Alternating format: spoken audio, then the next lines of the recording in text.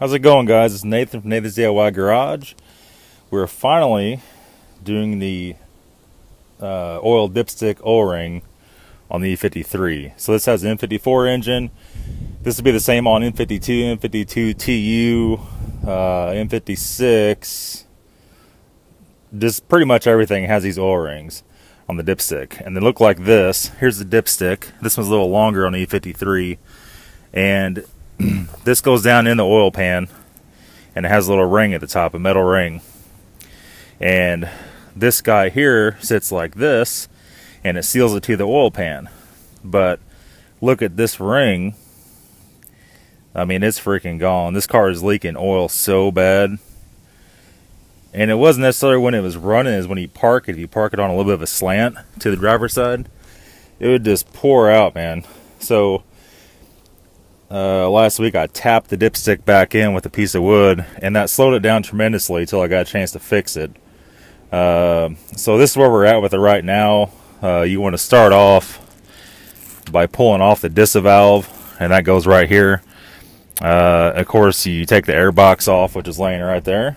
The air box is just two bolts right here, and that pops off. One thing you want to do, you want to make sure your DISA valve is good while you're in here. I did videos before on this. You want to flip it and make sure there's no play in it. And there's a little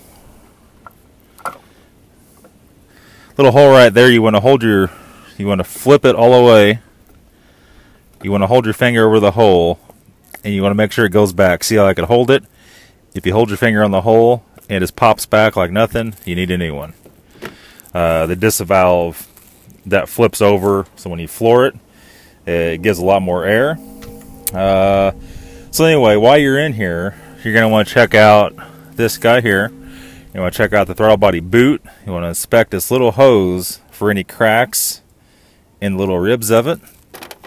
And you're going to want to go down here and you don't have to do this. I'm going to do it on this car. This car is a daily driver. I'm going to go ahead and pull off that idle air control valve We'll clean it. We'll go and pull the throttle body, clean it.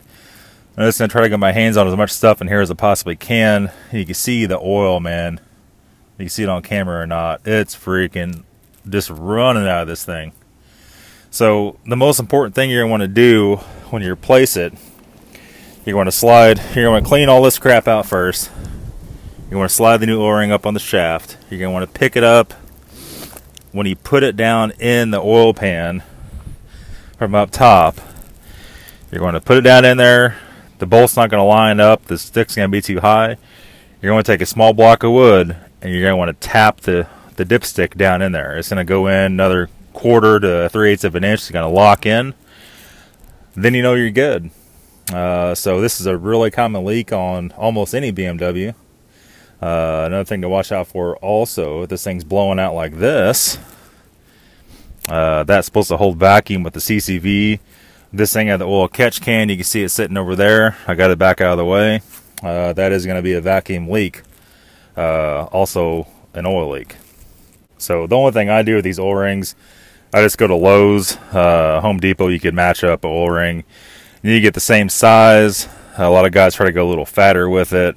I don't know if I would do that or not. Um, and this is a pretty regular maintenance item. I would say if you're ever in here taking this stuff out, you want to check on that. Uh, that could definitely stain up your driveway pretty bad and cause all kinds of issues.